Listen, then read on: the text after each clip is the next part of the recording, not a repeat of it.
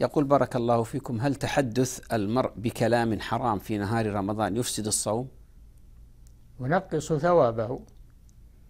ينقص ثوابه ولا يبطل الصوم بمعنى أنه يقضيه ولكن يكون لا ثواب له ويصير يصير عمله للذي وقع في عرضه واغتابه أو نمه. نعم.